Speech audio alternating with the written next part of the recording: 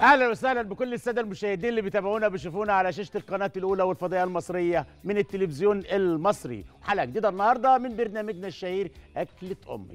أكلة أم النهارده مختلفة شوية لها طعم تاني لها مذاق تاني. في العائلة وفي الأسرة بنتسابق في عمايلها. إيه يا مغازي؟ مكرونة بالبشاميل. وما زلنا بنتسأل عليها على ال social media. مكرونة البشاميل بتنشف مني.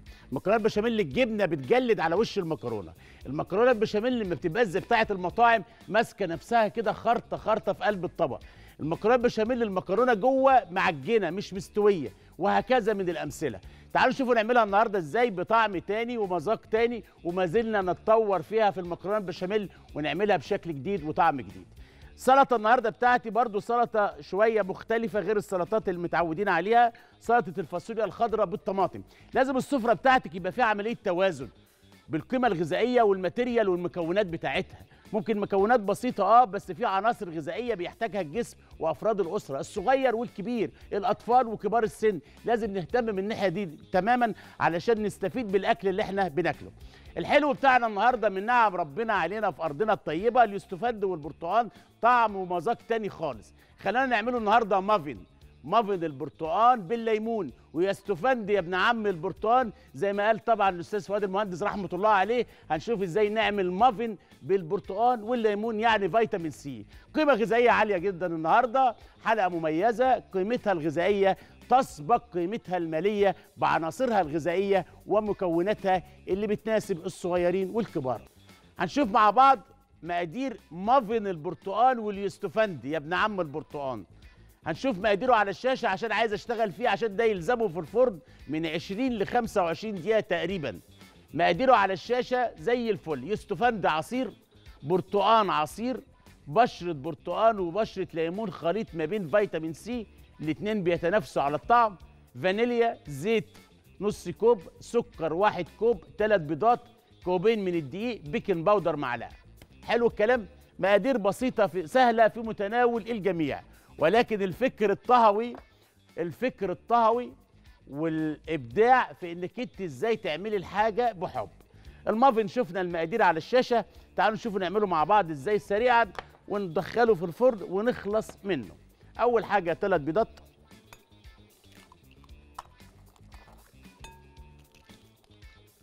حلو. البيض يطلع من التلاجة في أيام الشتاء قبل ما نخفقه بعشر دقايق. لسرعة خفقان البيض سريعا إضافة السكر مباشرة قبل الخفق. بالشكل ده كده. سريعا. هنشوف قوام لطيف دلوقتي. أهو شفت إزاي؟ أهو بسرعة اتخفق البيض أهو.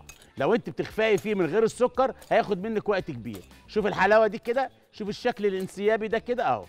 أهو إيه الحلاوة دي؟ إيه الجمال ده؟ هو ده. ننزل بالزيت. الله. ونقلب نفس التقليبة. آه. هيديني برضو شكل انسيابي ولكن هيبقى متقطع. خبرة طهويه بقى. آه. نبص عليه. آه. بص إزاي؟ غير الأول. هتلاقي كده نازل. شفت إزاي؟ الموضوع مختلف. آه. حلو الكلام. ننزل بالفانيليا عشان زفارة البيض. آه. ننزل بعصير اليوسفي. الله. آه. ونقلب. هنا مفيش حليب. ننزل بعصير برتقان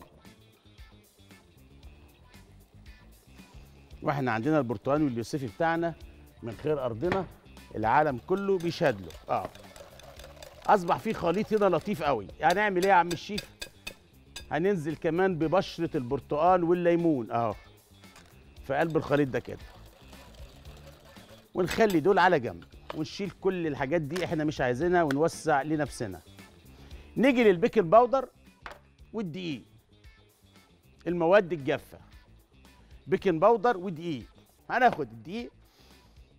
بنحط ال baking powder عليه بالشكل ده كده. دايما ال baking powder مع الدقيق تخلطيه الأول كده لوحده. وتعملي عملية test لل baking powder. طبعا إحنا بنجيبه يعني دايما طازة. مش طازة يعني طازة بنجيبه يعني fresh من السوبر ماركت ونشوف تاريخ الصلاحية. بس انت ممكن تجيبيه مرة مثلا أول الشهر وبعدين يقعد عندك شهرين ثلاثة مفعوله بينتهي هنا بياخد برودة بياخد رطوبة وتيجي تستخدميه ما يبقاش لطيف معاكي. فالحاجات دي مطلوبة إنك انت تشيكي عليها دايما. ننزل بالدقيق بتاعنا وال baking powder كده. آه آه آه زي الفل. ونقلب بالمعلقة اللطيفة دي كده. آه.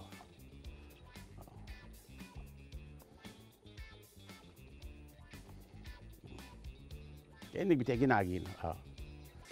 شفت الجو ده كده. آه وعندنا قوالب المافن بتاعتنا.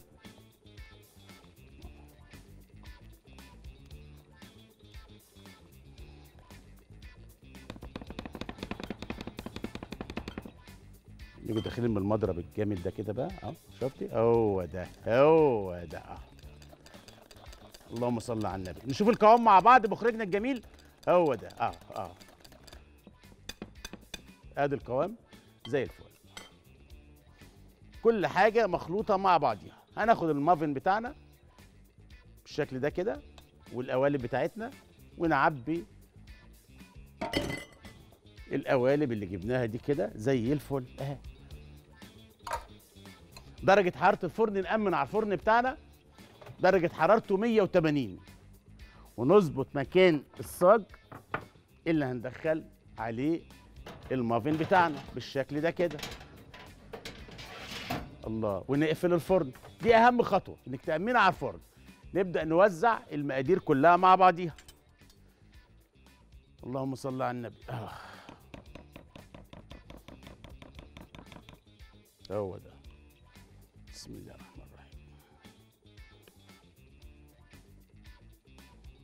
حلو الكلام. آه. حلو الكلام. آه. ممكن تعملي حاجة لطيفة بقى تجيب البرتقال والاستفندي تقشريه وتحطيه في قلبيها. آه. تبشري شوية برتقال وتحطهم في قلبيها. ده تجويد يعني بس أنا حاطط طبعا التفاصيل كلها عصير برتقال وعصير يوستفندي وبشرة برتقال مع بشرة ليمون جوه الخليط.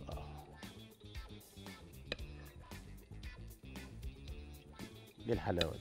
إيه الجمال ده؟ إيه الجمال ده؟ شوفوا أنا بشيل من المغرفة دي هي التركاية دي. بص أهي أهي آه تاني آه. الحركة دي مهمة جدا آه. بس خلاص كلهم قد بعض. درجة حرارة الفرن عندي 180 على فكرة زي ما قالت الأخت من شوية كل بيتساءل ده هيروح فين؟ ده تقدري تجيبي قالب كبير بتدهنيه زبدة وشوية دقيق وتعملي قالب كبير مش لازم القوالب الصغيرة دي ويبقى قالب كيك بالبرتقال والاستفند اختياري برضو ده هنعمله إن شاء الله. فلازم نبقوا عارفين مفيش حاجة عندنا بيبقى فيها تبذير خلي بالك. ده مهم جدا. تقدري تعملي حاجة حلوة كمان أفكركم. تعملي حاجات زي البان كيك. تجيبي طاسة وتاخدي من المقدار ده كده في قلب الطاسة وتعملي بان كيك. لطيف وجميل وتقدميه مع عسل يبقى فطار الصبح. يعني تقدري تشيلي الخليط ده في التلاجة. التفاصيل دي لازم أقولها للأمانة علشان مفيش حاجة تترمي. ده يتعمل بان كيك ويبقى فطار جميل الصبح على فكرة. لأن مقادير البان كيك هي مقادير الكيكة. هندخل ده الفرن. آه. هو ده التنوع إنك أنت تبقى عارفة إزاي تفاصيل الحاجة اللي بتعمليها. آه.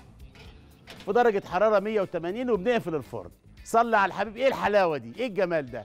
خلينا نقفل الفرن بتاعنا. نفتح الفرن نشوف أخبار المافن بتاعنا إيه. نبص عليه. اللهم صل على النبي. لا لا لا تكذبي. يا عم جيب المافن وجيب الحلاوة قبل ما نخش بالتقيل. إيه الجمال ده؟ إيه الحلاوة دي؟ يا استفندي يا ابن عم البرتقال الاتنين بيجمعهم كاب كيك في قلب الفرن. هنطلع ده من الفرن كده وندخل المكرونة بتاعتنا. الله تتحط مكانها هنا.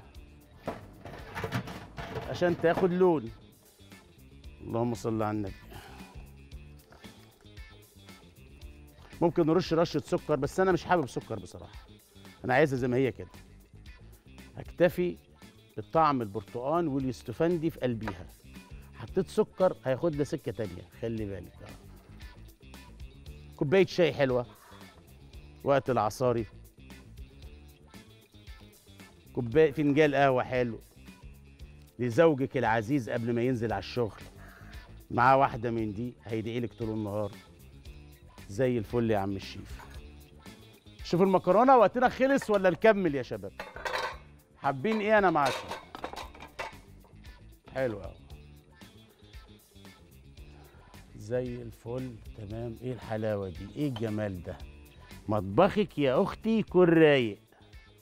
أهم حاجة ليه؟ علشان تقدري تقعدي في وسط ولادك على الطبلية اللي بتجمعنا. آه عيني اهو كده ها. العب